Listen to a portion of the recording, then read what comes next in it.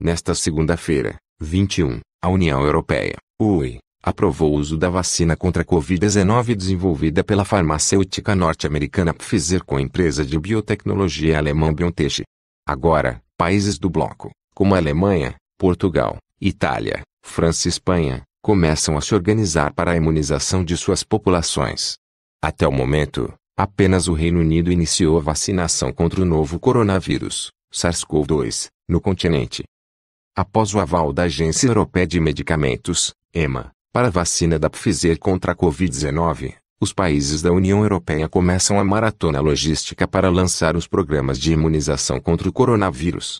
Mas antes do início oficial da vacinação, o ramo executivo da União Europeia ainda deve autenticar autorização, o que é previsto para a próxima quarta-feira, 23. União Europeia aprova a primeira vacina contra a Covid-19. Imagem, Daniel Judi Barron Splash. Vacinação contra o coronavírus na Europa. Mesmo que a União Europeia tenha aprovado a vacina da Pfizer, não há um único plano de vacinação para o bloco, ou seja, cada país decidirá como será a imunização. No entanto, a expectativa é que alguns deles, como a Itália, Alemanha e Espanha, já comecem a aplicar as primeiras doses do imunizante ainda no próximo domingo, 27.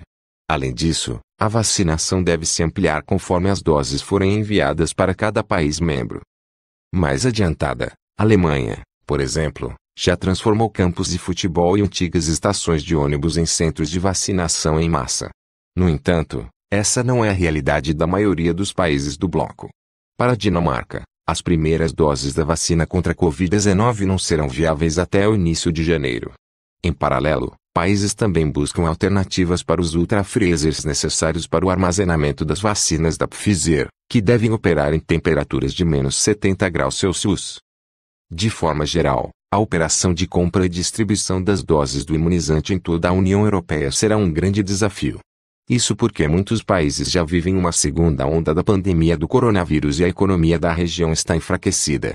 Como se não bastasse, nos últimos dias identificaram uma nova variante do vírus da Covid-19, no Reino Unido, até 70% mais infecciosa, e que tem se espalhado pela Europa. Quantas vacinas a Europa pode ter contra a Covid? liderado pela Comissão Europeia, a compra da maior parcela de vacinas contra a Covid-19 é centralizada. Segundo o órgão, mais de 1,3 bilhão de doses de seis diferentes tipos de vacinas, algumas ainda em desenvolvimento, já tiveram seus acordos fechados.